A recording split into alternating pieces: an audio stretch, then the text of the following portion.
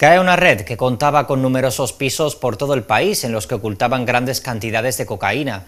En el operativo han sido detenidas 12 personas en diversas provincias y según los investigadores se trataría de la mayor trama de distribución de cocaína en Madrid.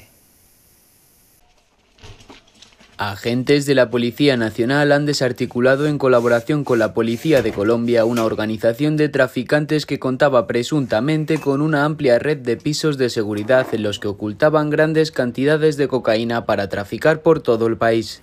12 personas han sido detenidas durante una operación en la que se han incautado 600 kilogramos de esta sustancia estupefaciente y que se ha llevado a cabo en las provincias de Badajoz, Guadalajara, Madrid, Málaga y Valencia.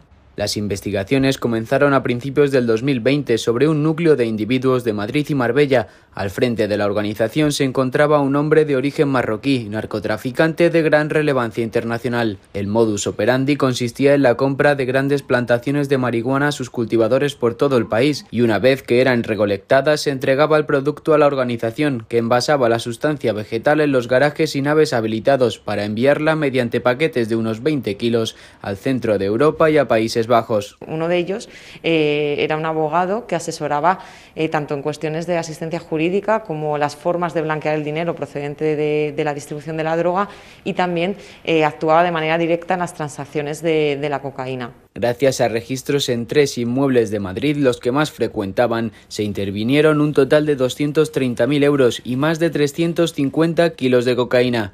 Se trata, a juicio de los investigadores, de la mayor red de distribución de cocaína de la capital de España.